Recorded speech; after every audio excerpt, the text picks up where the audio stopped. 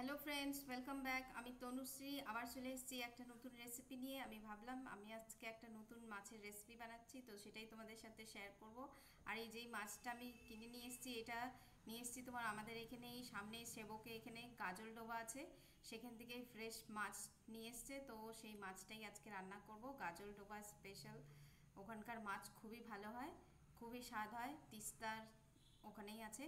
তো সেই মাছটাই আজকে বানাবো। তো চলো গিয়ে মাছটা বানাই, সব রেডি করেই রাখা আছে। তো স্টেপ বাই স্টেপ তোমরা দেখে নিও আমি কি করে মাছটা বানাই।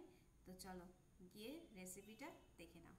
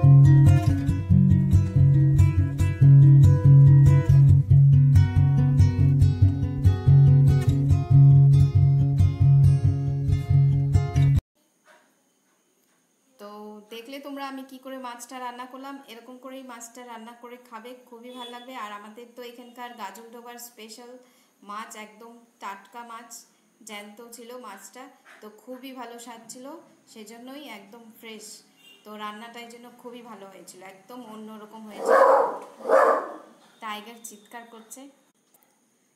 তো টাইগার প্রচণ্ড চিৎকার করছে, তোমরা শুনতেই পাচ্ছ। তো আমি আজকের ব্লগটা এখানেই শেষ করছি। আবার তোমাদের সাথে দেখা হবে নতুন কোনো কিছু নিয়ে রেসিপি নিয়ে। তো আজকের জন্য এতটুকুই রাখছি। বাই কাল আবার তোমাদের সাথে দেখা হবে।